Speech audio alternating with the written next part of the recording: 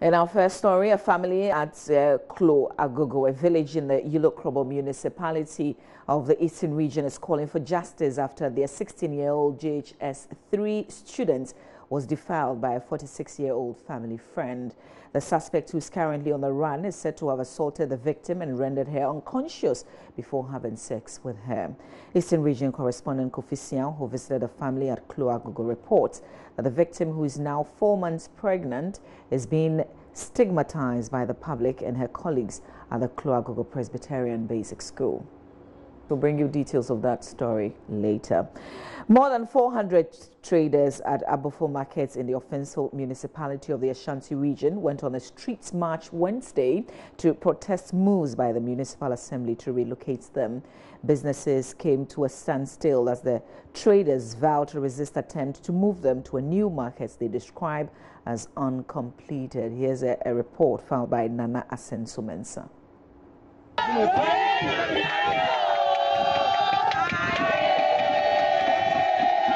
Some of the traders told Joy News facilities at the site are inadequate and inappropriate for occupation.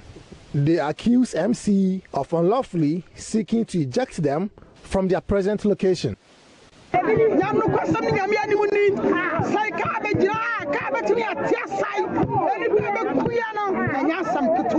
When you take a good look at the market, you will see that it is not fenced. The environment is filled with filth and poor drainage system, which is not conducive for our health. We are pleading on the government to come to the aid of the people so we can continue with business.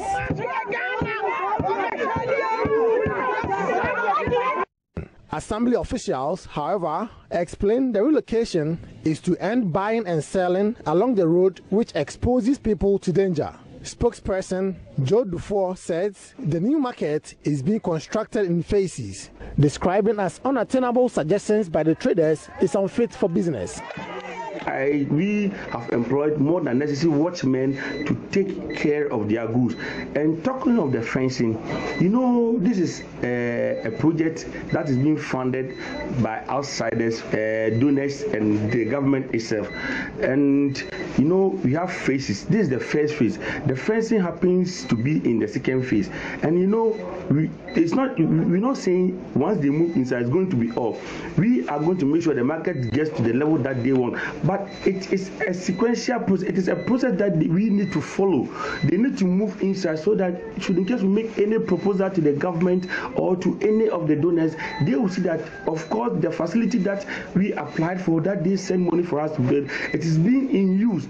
Once the facility is in use, we can at least send a proposal talking about the fencing, talking about any other things that they've, they've asked for. Right. So for the fencing, it is something that is in our and it is in the pipeline. That will be that will be done very soon. But we need to move them inside. They need to go inside to start the trading before we can do that proposal because it is in the second phase. Nana Sensumensa reporting for Joy News.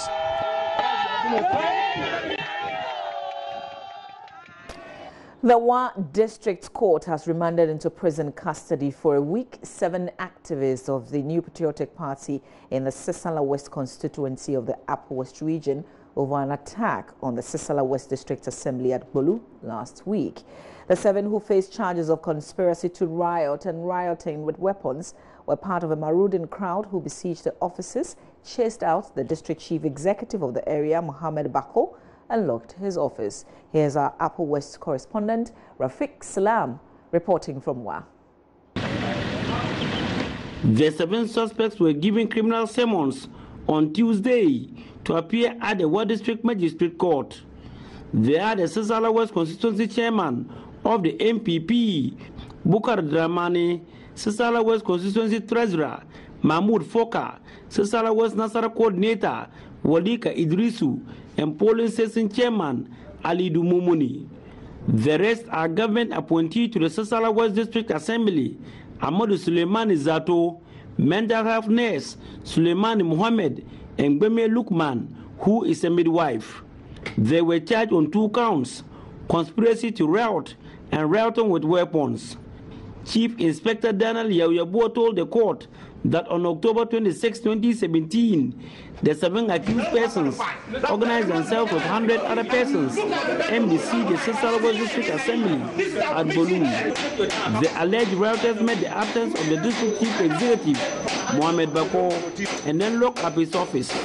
They further threatened to deal with him if he comes to the office. It took the intervention of the police to drive them away. Chief Inspector Daniel Yebo noted that they have intelligence to the effect that there are pockets of rioters who are still threatening to cause mayhem. He pleaded with the court to remand the suspects in prison custody to enable the prosecution make further investigation on the case and arrest the other alleged suspects who are at large.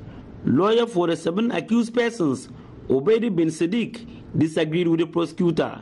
He stated that the fact presented by the prosecutor was empty, adding there is no element who suggests that the accused persons possess weapons or any instrument which has the semblance of a weapon at the time of their visit to the assembly. He noted that the accused persons for now are presumed to be innocent and if they are remanded and eventually found not to be guilty of the offense charged against them, they are not going to be compensated in any way and yet they will have suffered irreparable damage. He prayed on the court to grant the accused persons bail. His Worship Sidney Brymer in his ruling stated that the fact that the accused persons went to the Sisala West District Assembly to look for the DCE and followed up with a threat to deal with him if he comes around is enough evidence who supports the facts of the prosecution. He remanded the seven suspects to prison custody and asked them to reappear on November 8. The seven suspects were handcuffed and whisked away in a Toyota Land Cruiser pickup under heavy police presence. Reporting for J News, Rafiq Salam. Wow.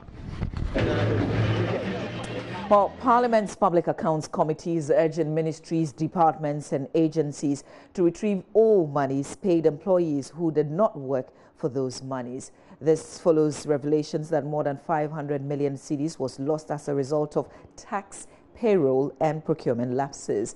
The committee on Wednesday engaged officials from the Health Ministry and the Attorney General's departments. The Health Ministry lost some 25 million cedis, with payroll irregularities amounting to more than 600,000 cedis. Speaking to Joy News, Public Accounts Committee Chair James Klutse Avedzi said that relevant state agencies with such challenges must go after those who fail to do their work, leading to loss of revenue that we are considering. Uh, what is on earned salary? Uh, somebody is paid for salary for work not done, and that is what I mean by on earned salary. Um, so um, we are worried, but fortunately, fortunately, the new system that has been developed by the previous government, um, which they started in 2015, uh, which is the the e salary um, system, where uh, before salary is paid to the workers at any department, the head of the department must uh, verify and confirm and authenticate that yes, this number of people that you want to pay are actually uh, working in my department, and for that matter, the controller and accountant general can go ahead and pay. Previously, we don't have that system, so people are paid even when they are on retirement. Their salary keep coming, or if they resign from the office, their salary keep coming. But the new system that has been developed will solve the problem, and we hope that uh, from 2016 audit report, we should not have uh, issues about our earned salary. So it's an issue that, that is very important to us because if you look at uh, Ministry of Health alone, the amount involved is huge and, and cover a number of people and they receive this salary knowing very well that they have not uh, worked for it and they receive it. And in fact, it is something that uh, we should take serious look at. People who knowingly uh, receive this salary for work not done, we should punish them severely and so that it will deter people from continue to behave that way. So I think the issues that have come up is something that uh, the state agencies, the relevant state agencies, must go after these individuals and more importantly retrieve the money for the state. Yeah, we definitely we will even report in um, um, in our report, recommend a report for these agencies to go after these individuals and collect the money from them. I mean, those those that are not available. In fact, even the families should uh, bear the, the cost of those and refund the money to state because the government cannot lose money like that. And we need money for development. We need money to do other things. So why should we pay somebody who hasn't worked for it? So we will recommend for the agencies to go after these people. No, all the agencies, no, if I'm not only Minister of Health, almost all the agencies that we have, um, we have we have interviewed or who appear before this committee.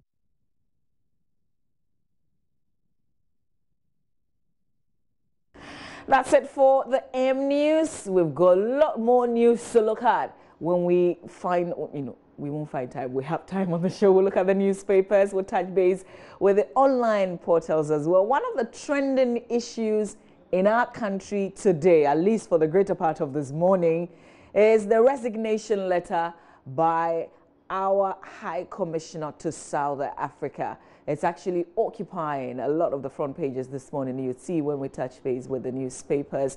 Uh, I've got two questions to ask you. If you've spotted that letter of apology by Ayisi Boateng, who is Ghana's High Commissioner to South Africa, two things. Does that letter sound sincere?